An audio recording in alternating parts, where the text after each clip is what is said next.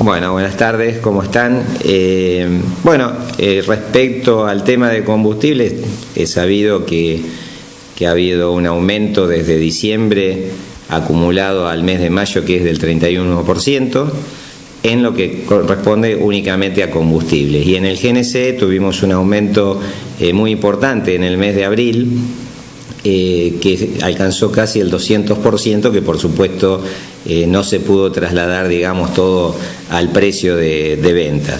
Pero bueno, sí, realmente fueron subas que fueron escalonadas, con la última suba que fue del 10%, que fue la más, la más complicada que tuvimos, porque se hablaba recién de que el aumento iba a ser en, en agosto y en, y en diciembre de este año y se adelantó a los primeros días de mayo.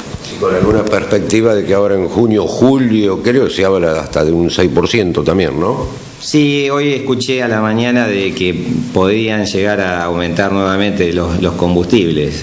El deseo es, por supuesto, de que, de que esto no ocurra porque realmente ha impactado en el consumo eh, digamos, en el poder adquisitivo de la gente con todos los aumentos de tarifa y, demás aumentos que hubo y por supuesto también eh, se reduce el consumo de combustible al seguir aumentando y al no los, al no los salarios a, tener, digamos, la misma. Correr por lo menos, no digo a la par, pero cerquita. Claro, exactamente. Todavía no se han fijado las paritarias de algunos sectores y, y los incrementos de salarios todavía eh, están por verse en algunos convenios, ¿no es cierto?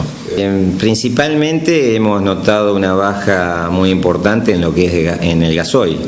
Eh, ese es el combustible que mayor impacto ha tenido, en consecuencia de, una disminución de la actividad productiva y consecuencia también en abril de que tuvimos 20 a 22 días eh, permanentes de lluvia que bueno el sector agropecuario no pudo eh, levantar la cosecha, digamos, en el ritmo normal que tiene o de otros años.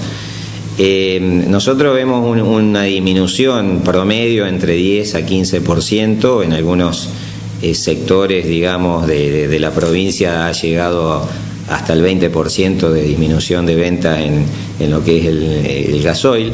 Y nosotros estamos dentro de, de, lo que es, digamos, cierta normalidad de de, lo que es la, baja de la venta de, en, esta zona. O sea, en, este, en esta zona ha bajado menos, menos que, que en, otro, en otros lugares del país. Eh, Gustavo, y en el marco de las naftas, ¿cómo, cómo, cómo ha afectado? ¿Dónde notas que la gente se restringe? Sí, las naftas hemos eh, visto un incremento, en, eh, digamos, de que la gente se ha pasado de las naftas premium o del gasoil premium a las naftas más con menos octanaje. La super. Exactamente, se pasó de, lo, mejor de la Podium, en el caso de la Petrobras, a, la super.